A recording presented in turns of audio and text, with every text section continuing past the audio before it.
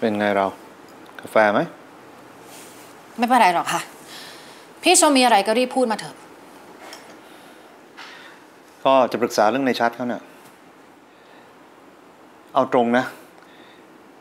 พี่ก็ไม่อยากให้ชัด มันลาออกจากบริษัทเรา มันมันวุ่นวายหลายอย่าง แล้วตำแหน่งในชัดเนี่ย ก็ไม่ใช่ว่าหาใครมาทำใหม่ได้ง่าย พี่ก็ไปตามเขากลับมาทำงานสิคะ รู้แล้วนะ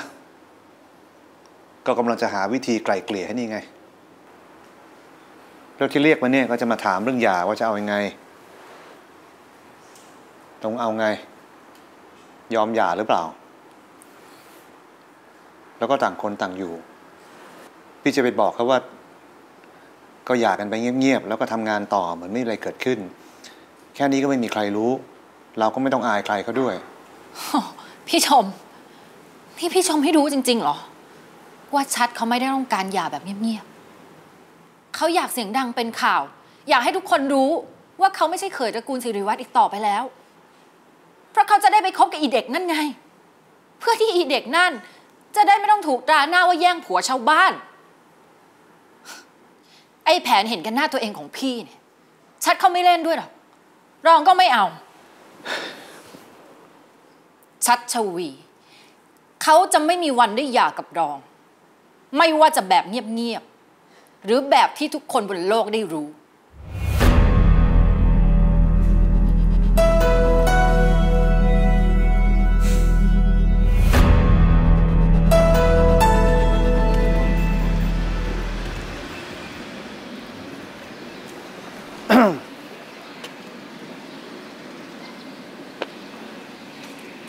พี่ชม สบายดีไหม คุณน้องเขย มีธุระอะไรครับ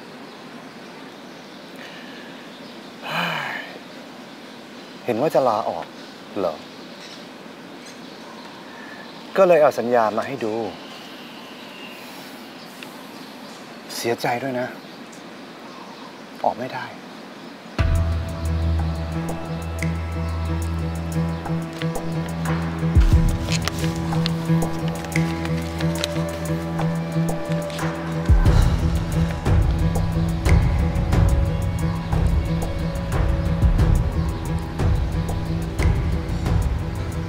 ซ็นเองเลยนะ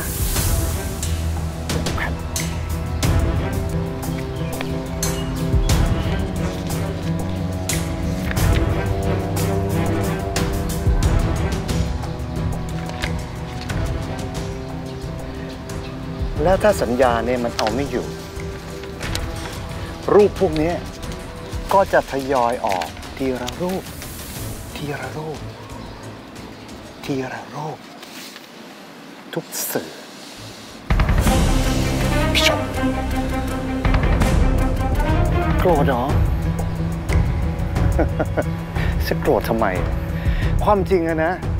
แบ่งแบ่งกันกินซะอันนี้ก็จบไปแล้ว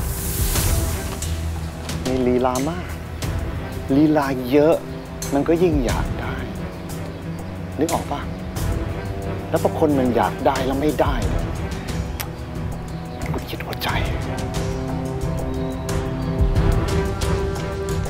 ผู้หญิงมีเยอะแยะ พี่จะเอาใครก็ได้นี่ ใช่ จะเอาใครก็ได้ แล้วจะบอกให้นะ ไม่เคยไม่ได้ด้วย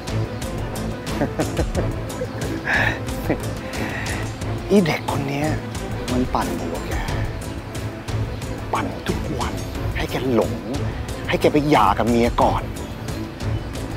มันก็แค่อับราคาเท่านั้นแหละเข้าใจไหมตื่น แล้วฟังนะ กลับไปทำงานซะแล้วกลับไปหารังรองด้วย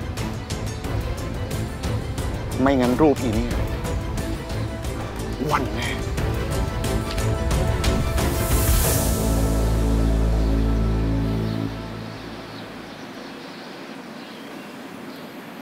ตามนั้นนะ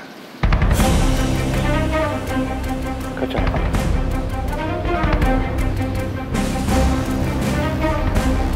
mine.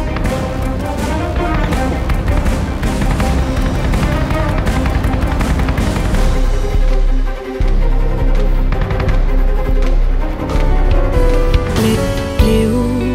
khoang างชีวิต ฉันดังใบไม้ที่หลุดลอยน้ำตา ฉันเป็นลำธารอาบรัที่ผิด